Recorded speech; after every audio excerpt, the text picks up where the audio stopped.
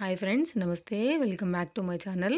Friends ఈరోజు నేను మీకు ఇత్తడి సామాన్లు లేకపోతే రాగి సామాన్లు మన ఇళ్ళలో జనరల్గా పూజ కోసం కానివ్వండి మనం వాడే ఫ్లాస్క్ కానివ్వండి లేకపోతే గ్లాసులు కానివ్వండి లేకపోతే వాటర్ స్టోర్ చేసుకుని చాలామంది వాడుతూ ఉంటారు చెంబుల్లాగా. సో అలాంటి పాత్రల్ని మనం ఇప్పుడు క్లీన్ క్లీన్ చేసుకుని లాంగ్ టైం ఎలా కలర్ కానీ మచ్చలు కానీ లేకుండా ఎలా మెయింటైన్ చేయొచ్చు అని నేను చెప్పాలనుకుంటున్నాను.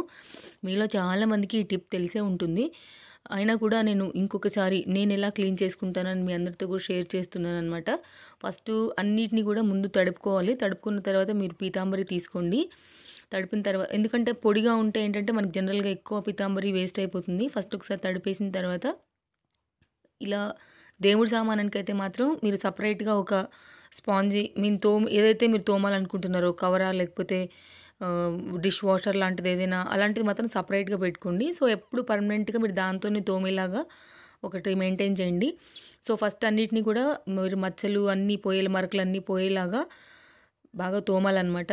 సో ఏంటంటే రెగ్యులర్గా మనం వీక్లీ వన్స్ అయినా తోముతూ ఉంటుంటే అవి మెరుస్తూ ఉంటాయి. సో అస్సలు ఎప్పుడు లాంగ్ టైం గ్యాప్ ఇచ్చేసి తోమ్ తోమితే కనుక తెల్లగా రావాలంటే కనుక కొద్దిగా టైం పడుతుంది.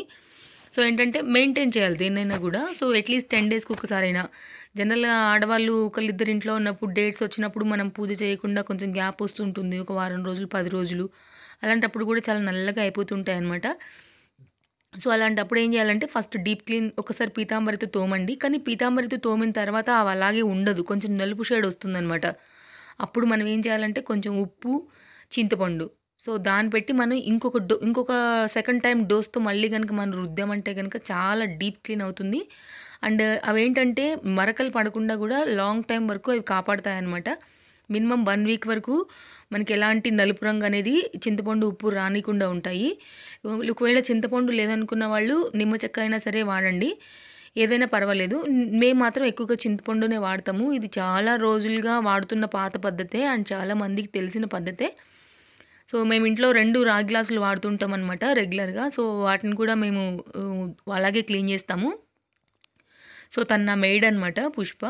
సో తను నాకు అవన్నీ కూడా every every week deep clean చేస్తుంది. జస్ట్ రోజు రెగ్యులర్గా నేను పూజ చేసుకునేవి మాత్రం దీపారాధన కుందులు చెంబు అవి ఉంటాయి కదా అవి మాత్రం పీతాంబరితో అట్లా నాకు తోమిచ్చేస్తుంది అనమాట విగ్రహాలు ఎప్పుడైనా సరే మనమే తోముకోవాలి. So owners తోమాలి. ఖచ్చితంగా అది మెయిడ్కి ఇవ్వకూడదు కాబట్టి నేను ఇది ఆఫ్టర్ నా హెయిర్ బాత్ అయిన తర్వాత సో నేను వీటిని క్లీన్ చేసి పూజ చేస్తానన్నమాట.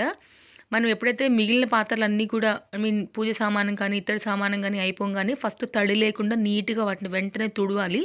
దానివల్ల మరకలు అనేవి రాకుండా ఉంటాయి. సో ఫస్ట్ వాటిని అలా గాలికి బౌల్ చేయండి. సో నీట్గా ఆరుతాయి అనమాట సో ఆఫ్టర్ నా బాత్ తర్వాత నేను కూడా సేమ్ ప్రాసెస్లో నా పూజ సామానం అంతా కూడా నేను తోముకున్నాను బ్యాలెన్స్ అన్నీ సో ఫైనల్గా చూడండి. బంగారం లాగా ఎంత మెరిసిపోతున్నాయని. ఇంకా నేను పువ్వులు చాలా తక్కువ పెట్టాను ఫ్రెండ్స్. ఎందుకంటే క్లియర్గా లోపల ఉన్నదంతా కూడా క్లారిటీగా కనపడాలని ఒక్క మచ్చ కానీ ఒక్క మరగ్గాని కానీ లేకుండా ఎంత బాగున్నాయో చూడండి. ఇవి వన్ వీక్ వరకు అలాగే ఉంటాయి. అండ్ నా ఛానల్ సబ్స్క్రైబ్ చేయడం మర్చిపోకండి. వీడియో బాగుంటే లైక్ చేయడం కూడా మర్చిపోకండి ఫ్రెండ్స్. మరో వీడియోతో మళ్ళీ మనం తప్పకుండా కలుద్దాం. బాయ్.